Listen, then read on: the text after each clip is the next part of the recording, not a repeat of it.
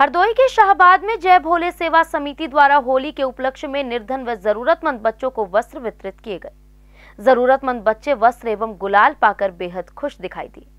जय सेवा समिति के सचिव अनुज मिश्रा ने बताया कि झोपड़पट्टी में रहने वाले गरीब बच्चों को होली के अवसर पर अंग वस्त्र देकर उनके चेहरे की मुस्कान बनने का सौभाग्य हमारी समिति को प्राप्त हुआ है।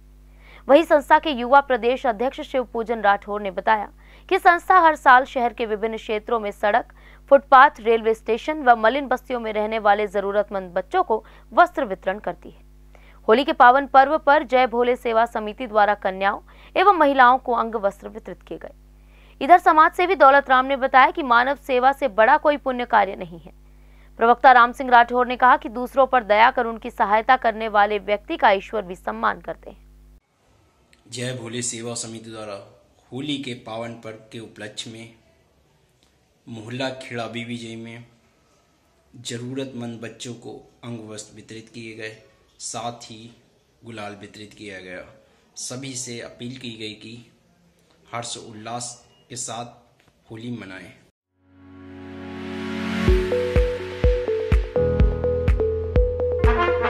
Breaking news. रास बसेरा आपके लिए लेकर आए हैं खास मौका। वो भी हरियाणा सरकार की अफोर्डेबल हाउसिंग योजना के साथ, जिसके तहत आपको मिलेगी छह लाख रुपए तक की सुविधाओं के रूप में सब्सिडी जैसे कि free parking EDC IDC free club charges free और मेंटेनेंस फ्री और कोई हिडन चार्जेस भी नहीं। तो आज ही बिना देर किए अपने सपनों का घर बुक